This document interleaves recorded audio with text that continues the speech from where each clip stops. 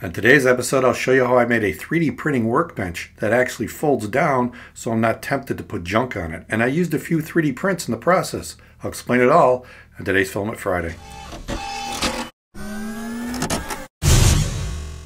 Filament Friday is brought to you by the generous donations of these Patreon supporters.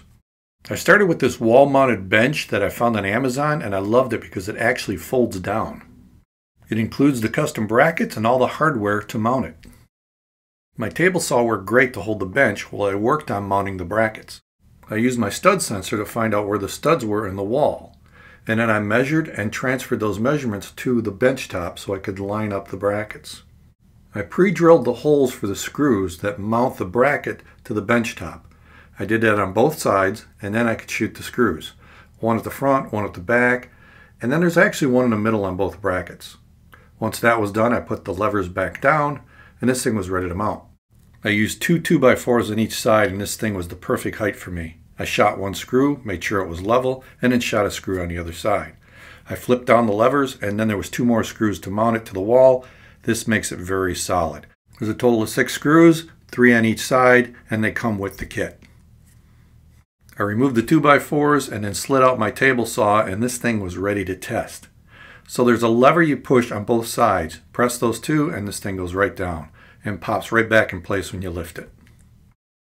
I used an electrical strip, but the way the plug was, I had to mount it upside down like this. And it mounts on the ends, where there's unfortunately no stud. So I had to create these brackets to hold it at the studs, and I couldn't put one in the middle because of the plug. So I measured it, and then I went to Tinkercad and made this bracket. So then I printed two of them on my Ender 2 Pro using my extra fast profile, and they came out great. Just four screws, two on the top, and then two on the bottom should hold this thing pretty tight. After I screwed it in place, it was solid. I like to have pegboard above my bench, and I found this one at my local hardware store. I did find this on Amazon, and it comes with these unique mounts. Instead, I found these other mounts, but I thought I can just 3D print those things, so I did. I 3D printed a bunch of them, but then I found they didn't work. As this Amazon reviewer said, you have to get behind the pegboard to put the spacers on, which isn't easy to do. So I went back to Tinkercad and designed my own that actually stick into the pegboard and stay, just like this. You push it in and it holds. And then it's flush to the front and the screw covers it up. Once again, I use my Cura Extra Fast profile and these things are going to be hidden so they're perfect.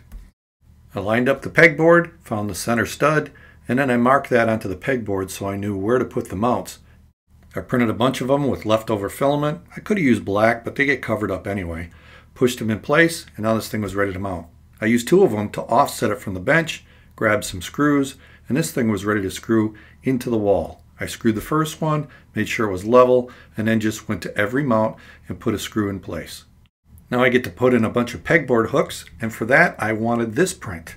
This locks the pegboard hooks in place so they don't fly out like this. You snap it in place and it holds the hook.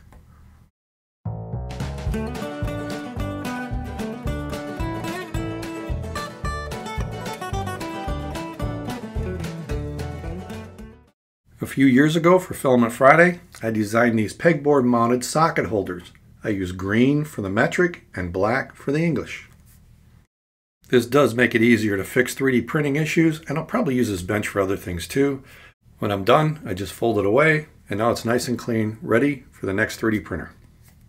If you like what I'm doing here, maybe check out some of the other videos that are popping up. If you want to help support the channel, click on that Patreon logo. And if nothing else, click on that Filament Friday logo and subscribe. I'll see you next time, right here at Filament Friday.